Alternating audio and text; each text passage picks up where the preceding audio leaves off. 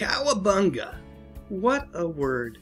If you Google its meaning, you'll find out that it's an interjection that was mainly used by surfers during the 60s and 70s. It was meant to express amazement, enthusiasm, or joy. And I think many of us remember it being a favorite phrase of four young mutant ninja turtles that rose to prominence during the late 80s. However, the origin of the word cowabunga goes all the way back to the 1950s and a very famous children's television show. Folks, I'm talking about none other than Howdy Doody, which actually ran on the NBC television network from 1947 to 1960.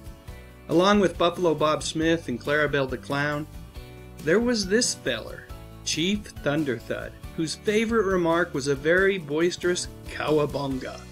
The writer of the show, who is attributed with originating the word, was head writer Edward Kean.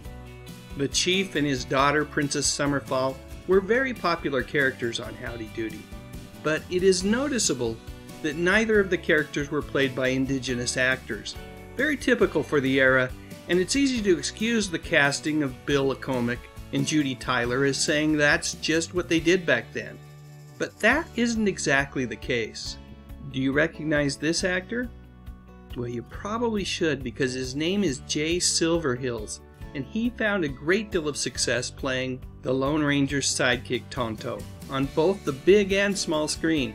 Born as Harold J. Smith in Canada, Silverheels was the grandson of Mohawk Chief A.G. Smith and the son of a decorated World War I veteran. Jay excelled in athletics, his favorite being lacrosse, and he was one of the first players chosen to play for the Toronto Tecumsehs when a professional indoor lacrosse league was established by the owners of a number of NHL franchises during the 1930s. Jay was so good at lacrosse that he was inducted into the Canadian Lacrosse Hall of Fame in 1997. While touring with a lacrosse team in Los Angeles in 1937, Jay was encouraged to do a screen test, and the rest, well, it's entertainment history. Although he is best known as Tonto, Silverheels appeared in almost 100 films and more than a dozen different television shows throughout his career. And if I'm not mistaken, Jay was the first Indigenous actor to be honored with a star on the Hollywood Walk of Fame. On that day in 1979, Jay was visibly moved, choked up with emotion. Sadly, Jay never fully recovered from a stroke that he suffered in 1974, and over the following years, Jay would find himself hospitalized repeatedly with one thing or another. And on March 5, 1980, he rode off into the sunset for the very last time. He was just 62 years old at the time of his passing. Way too young, gosh darn it. Way too young. Upon learning about Jay's death, his longtime friend, the Lone Ranger himself, Clayton Moore, said this I am deeply saddened. He was a great man, a perfect gentleman, and a true fighter for the Indian cause. I'm going to miss him very much. Throughout his career, Jay took pride in his portrayal of Tonto. And thankfully, the writers of The Lone Ranger never wrote cowabunga or similar made up words into any of Jay's lines.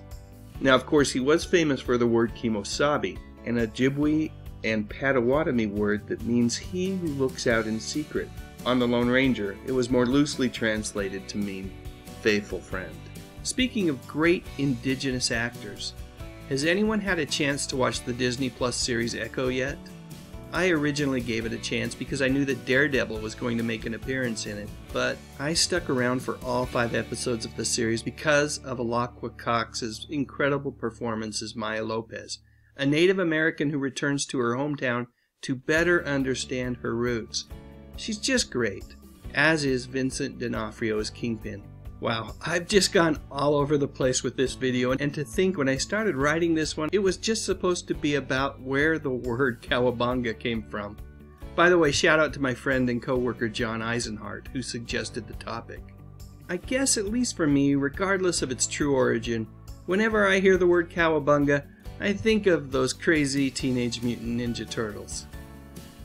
And now, I also think about the awesome Jay Silverheels, simply because he ended up being part of a very unique rabbit hole that I went down while researching the word. Alright, now it's your turn. Please share your thoughts in the comments section. Did you know that the word came from the Howdy Doody show? And then, if you enjoyed this video, I would appreciate it if you gave it a thumbs up, maybe even considered subscribing to the channel. I talk about music, movies, and mostly TV from decades gone by. You know, the good stuff.